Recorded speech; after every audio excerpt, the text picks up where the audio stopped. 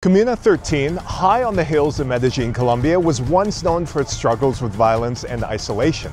But today it stands as a symbol of transformation due to a remarkable innovation outdoor escalators.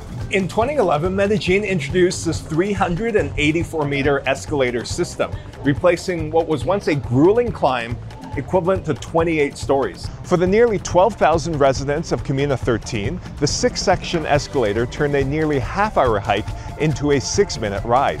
These escalators fill a clear niche in Medellin's innovative public transport system.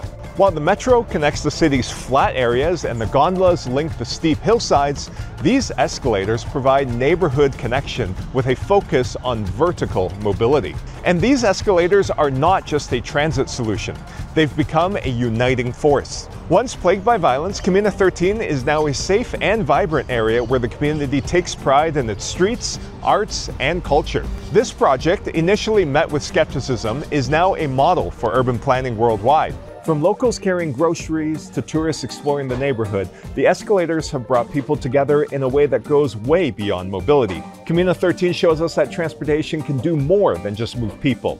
It can restore communities and rebuild trust. Could your city learn from Medellin's approach to inclusive transit? Let us know in the comments below.